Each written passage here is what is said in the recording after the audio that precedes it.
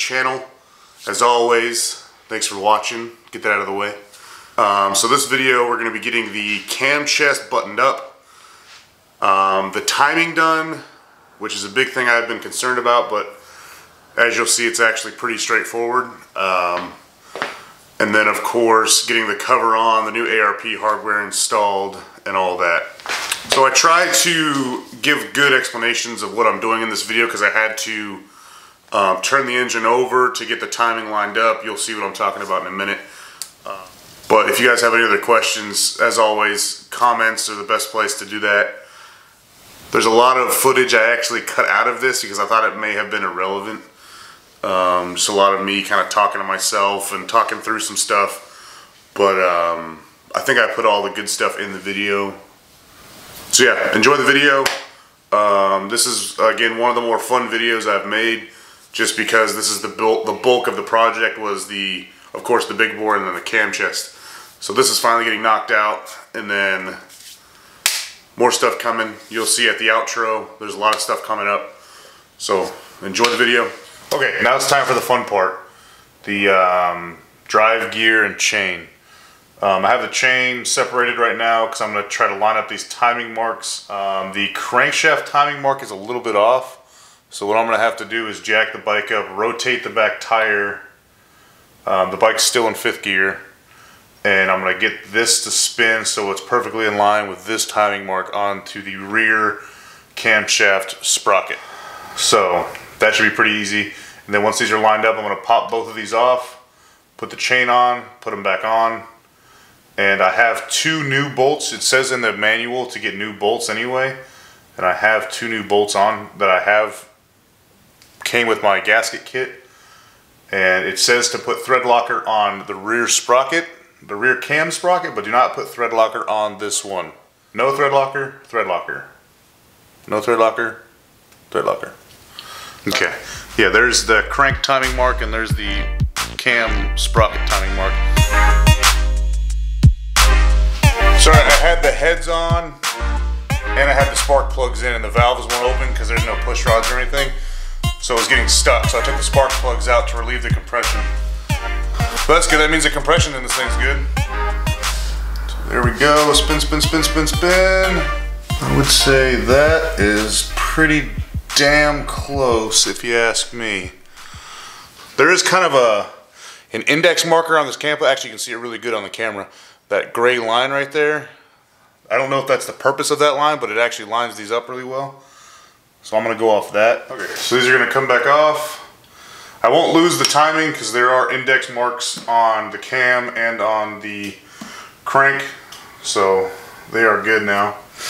This is a spacer that goes onto the rear cam. Now in the manual, it says to put the manufacturer's mark on here. It says INA 317. Um, probably not to be able to see that. Oh yeah, there you go. They say to put that in. So that's to go in. Of course, the sprocket's to go on over it.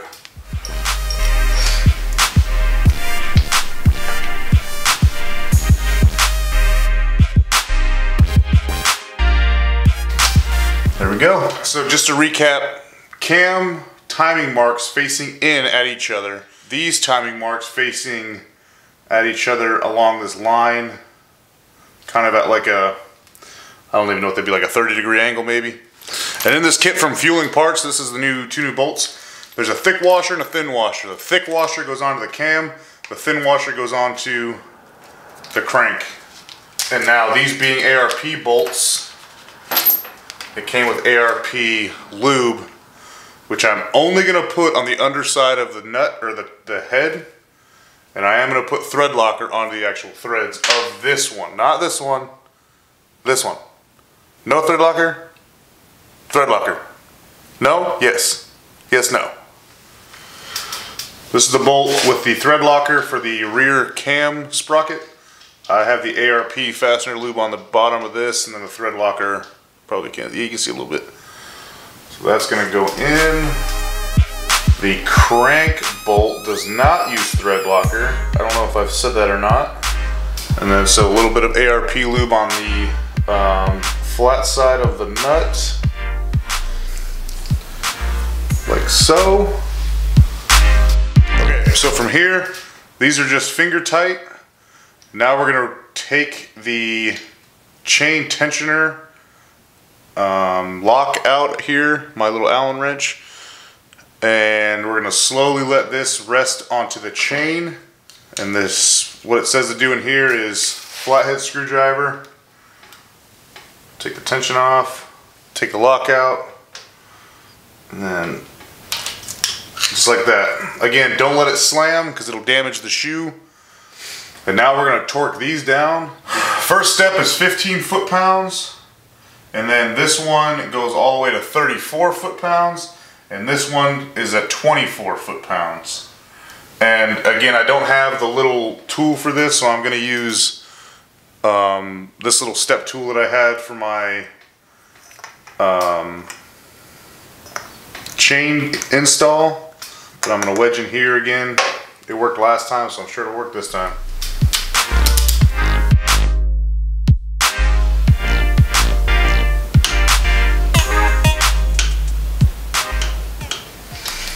So they're both at 15. So now the top one is gonna go to 34. I think I'm gonna go ahead and do 24 on both just to kind of step this one up.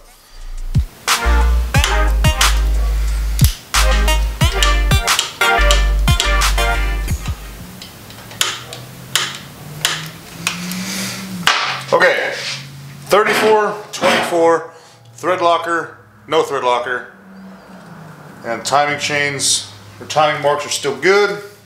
That should complete the cam chest as a whole, other than obviously the actual cam cover, which is going to be stupid easy. It's just new gasket, copper spray it, uh, and then crisscross pattern. Okay, we're going to go ahead and get this cam chest buttoned up with the cam cover. Um, I got a new gasket. It came in my fueling uh, cam chest rebuild kit. I also got new ARP hardware from IMZZ Elite. So I'm going to spray this gasket. It's a directional gasket. There's really no way to fuck that up. I'm going to spray this gasket with the uh, copper spray. Slap it on, put the cover on, torque it all down. Let me check the torque specs real quick. Camshaft cover. So 90 to 120 again. So that's 90 to 120 inch pound in a crisscross pattern. There is no torque sequence for this either. So I'm gonna go ahead and do this. It's gonna be real quick, real, real nitty gritty.